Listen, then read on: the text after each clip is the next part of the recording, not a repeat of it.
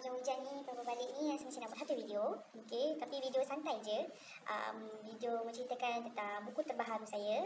Alhamdulillah Yang terakhir terbitkan Dikeluarkan 17 hari bulan hari tu Kemarin lah. Ha, Tapi sebelum saya nak minta maaf. Saya rasa macam Macam mata saya sengit. Sengit? Saya tahu saya ada masalah dengan mata saya hari ni. Tapi tak apalah. Kita teruskan Okay? Uh, Buku yang telah dikeluarkan Diterbitkan di bawah Book Cute. Okay Book Cute ni dia bawah PTS juga. Macam sebelum ni saya menyumbang karya uh, Dengan Penerbit X Juga di bawah PTS nah, Tapi saya fokus step 1 untuk siri cerita hantu So cerita poker kat situ. So ini cerita untuk remaja yang agak-agak santai Book Cute ni. Okay apakah itu?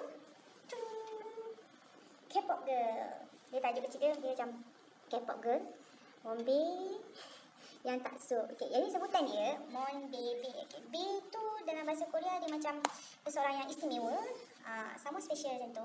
So, bila sebut lagu dia jadi macam membebel macam kan. Kedengaran macam tu lah. Jadi macam membebel macam tu kan. So, saya akan sebut Mon je. So, nampak macam comel sikit sebutan dia. Okay, sebelum tu saya nak ucapkan terima kasih datanya kepada tuan editor dan tim yang terlibat. Sebab saya sangat-sangat-sangat-sangat suka dengan cover dia. Okay, comel satu dan setiap kari, uh, cover dia ni, setiap apa yang ada kat cover ni, kat kulit buku ni, dia ada cerita dia tersendiri sebenarnya. Okay, ni belakangnya. Okay. Ini tepi dia. Okay, saya ada post juga ini dekat uh, apa nama kumpulan K-pop yang saya dah join international punya. Dia semua suka cover macam ni. Comel comel comel comel dan comel comel comel comel. Dalam pun comel sebenarnya. Dalam comel. Cute punya style orang punya style memang macam ni. Uh, comel sangat. Okay. Uh, okay. Mau balik-balik. Apa cerita pasal K-pop girl ni? Okay, K-pop girl ni dia cerita pasal satu uh, satu apa satu seorang remaja perempuan yang dia beri nama Nura. Okay, Nura ni dia ada satu uh, obses dengan satu kumpulan Korea yang diberi nama Monster X. Okay, untuk pengetahuan, kumpulan Monster X ni adalah satu kumpulan yang betul-betul wujud. Maksudnya memang ada, kalau korang Google pun, boleh Google, memang ada pun. Dia bukan satu nama yang kita petik, lepas tu tulis tak. Okay, uh, so dia punya obses dia ni sampai dia boleh boleh dikatakan dia boleh berimajinasi dan menghadirkan satu imaginary friend dia sendiri dan, imaginary, imaginary friend dia tu kawan imajinasi dia tu adalah salah seorang daripada ahli ini okey uh, so macam lama kelamaan ialah macam kita kan kalau kita tak salah sebenarnya nak minat sesuatu pun tapi kalau kita tak pandai nak bawa diri atas minat kita tu sendiri dia boleh juga menghancurkan diri kita uh, itu yang terjadi juga pada Nura selama kelamaan Nura ni rasa macam dia nak cuba buktikan pada semua orang minat dia ni, okay, apa yang dia minat ni, apa yang dia suka ni, eh, sebenarnya tak buruk pun, bukannya teruk sangat pun. Okay, dia nak, dia nak tunjukkan dia boleh beri satu kebaikan uh, kepada orang-orang sekitar dia. So, untuk buktikan tu, dengan berbekalkan semangat dan sokongan daripada kawan imajinasi dia, so, dia cuba, dia cuba untuk buktikan benda tu. Jaya ke tak? Ah, kita kena baca lah. Jaya ke tak? Apa yang dia buat sebenarnya? Uh, untuk nak buktikan kepada semua orang. Okay? Uh, balik pada cover dia ni yang saya kata ada makna di sendiri tu. Waktu Tuan Alif minta saya, dia bagi tiga tu dan saya pilih yang ada langit ni. Sebab saya suka. Langit ni memang lagi dapat melompat sampai ke langit mungkin macam tu. Tapi sebenarnya langit ni dia ada makna dia sendiri. Mak langit ni dia ada makna dia sendiri. Yang kek-kek ni kalau nampak kek ni semua-semua ni, ni pun ada makna dia. Ada ada ada cerita dia tersendiri. Uh, yang tujuh tujuh kek-kek ni, ini ada ahli-ahli Monster X. Okay, dia memang ada karakter-karakter yang macam kita sendiri memang ada. Sebab dia ada show pun dekat Korea yang dengan karakter-karakter inilah. Ni dan juga Lightstick ni semua ni saya ada cerita dalam. Semua ada dalam. So, saya, saya suka sebab dia menggambarkan, oh semua ada. Ha, semua ada gitu. Saya suka lah. Dan belakang sekali ada biodata penulis. Aku nak kenal saya, dia tengok sini. Okay. Uh, harga buku ni RM10 sebenarnya Malaysia. Uh, Sabah Sarawak RM12. Tak, tak termasuk ni lah. Uh, kos uh, postage. Uh, dia boleh beli dekat PTS Bookstore, Book Cafe ataupun boleh pergi ke Selayang, dia punya kedai kat Selayang, tak masuk di kedai buku, saya, saya, saya tak masuk lagi. Ataupun boleh dapatkan terus daripada saya pun boleh, saya ada kopi sikit, uh, ada lagi. Uh, ini, uh, boleh dapatkan daripada saya. Okay, uh, insyaAllah saya akan bagilah gift, gift yang comel, ada penghargaan, kalian mendapatkan daripada saya terus. Uh, apa lagi cerita pasal buku ni? Tak kena baca kot, sebab bagi saya comel, saya suka. Ah, saya ada saya cakap tadi saya ada post dekat grup international Mumbai kan Monster X kan. So, saya ucapkan terima kasih kepada yang bagi sokongan, bagi support. Okay, thank you so much Mumbai semua. Uh, one, uh, satu dah diterbangkan ke Singapura. Uh, InsyaAllah akan diterbangkan ke Filipina dan juga ke Korea. Yang Korea tu masih lagi dalam dalam perancangan tapi insyaAllah akan diterbangkan. yang ke Singapura tu saya ucapkan terima kasih sangat sebab dia, dia ramai-ramai yang request untuk diterjemahkan dalam bahasa Inggeris. Uh, apa nama dan dia dia, dia tak tahu bahasa bahasa Melayu bahasa Melayu sebenarnya tadi tapi dia nak juga buku tu sebagai koleksi Wombit dia so dia jadikan koleksi walaupun tak faham apa yang saya tulis hmm, dan dia juga yang nak support apa nama support untuk shipping fee uh, buku yang akan dihantar ke Korea so saya sangat-sangat haru terima kasih banyak terima kasih okey Uh, selain uh, buku ni adalah buku yang ke-8 tak saya. Uh, buku yang ke-8 di bawah terbitan buku Atas atas tu ada lagi buku. So yang tiga yang pertama uh, saya tak bawa sebab dia ada dengan anak saudara saya. Uh, so saya tapi saya dah baca. Saya dah buat ulasan uh, dah buat ulasan sendiri. Uh, iaitu buku My Best Buddy oleh Syaina Elisa. Uh, Misi Budak Ajaib oleh Tuan Syauki MK dan juga Ilik Bunyan Api Bukit Tengkorak oleh Sabina Ismail. Uh, tiga buku ni sama juga konsep dia comel-comel semua. Uh, ada ilmu dia, ada kisah dia dan memang seronok lah sebenarnya untuk dibaca. Lepas tu, lepas daripada Ili Bunyian tu, dia keluar dengan empat buku lagi sebelum buku saya. Buku-buku dia. Saya tak baca lagi buku-buku ni. Saya akan baca dan lepas tu saya akan bagi anak saya, saya baca. Lepas saya buat, buat, buat ulasan lah. Uh, buku Penjejak Kristen. Penjejak Kristen by Simon Malik. Hmm, comel juga buku dia. Uh, Lepas tu kita ada Beyblade Girl by Kak Sabina. Uh, ini pertembungan, pertarungan antara gasing, this one and also Beyblade. Uh, so macam ni kalau anak saudara saya baca ni suka dah ni sebab dia orang kan sekarang kan kita Beyblade kan.